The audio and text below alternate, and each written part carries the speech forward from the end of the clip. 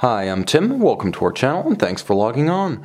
Today we're discussing the Ball Trainmaster Worldwide. You can see and you can purchase this World Time Date chronograph on our website. Subscribe to our YouTube channel if you enjoy these videos and please click on the card in the upper right hand corner of the screen at any time during this video to see our full sales listing for this watch with additional accessories included in the sale, high resolution images for your desktop, and naturally complete pricing details concerning this and our entire collection of ball timepieces.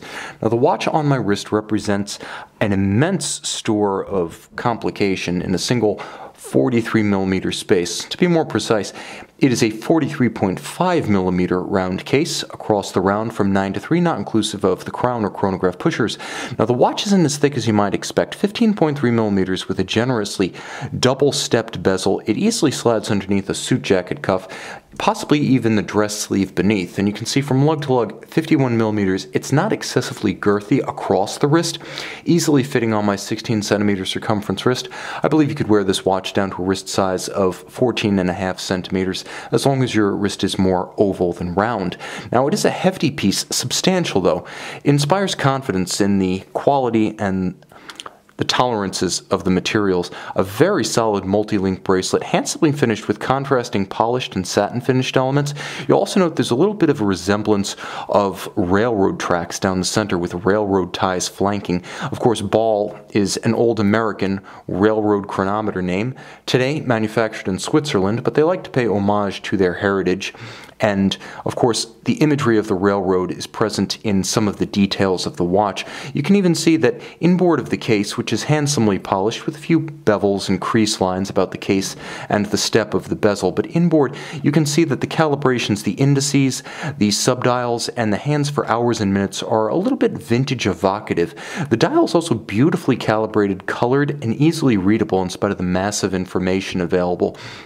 Let's start with the basics. Working our way in from the bezel, you can see that the world time reference ring, the 24 principal cities for 24 principal time zones, slopes down to a 24 hour world time ring that does is mobile. It is a true world time, so you can read next to each city the time and then read your minutes at center, the time in hours on the ring, the time in minutes at center, and then the time at the center dial, hours and minutes, is where you are currently.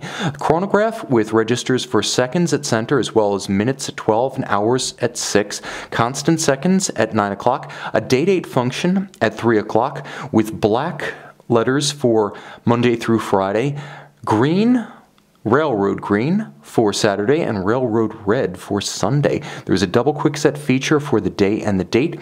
Now you can see that the watch features a highly stylized counterweight to the seconds hand to go with those florid vintage evocative and Trazer illuminated hour and minute hands. More on that in a moment.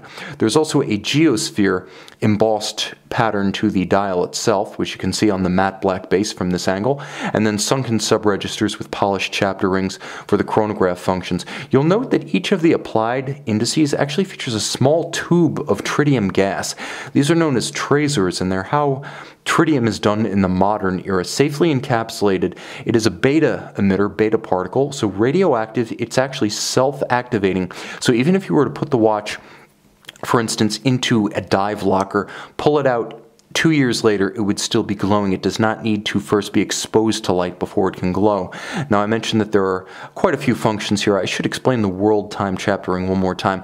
Each of the cities on the outermost ring represents one of the 24 principal time zones of the world. Now you can see there's this white and black reference ring calibrated up to 24 with the sun and the moon.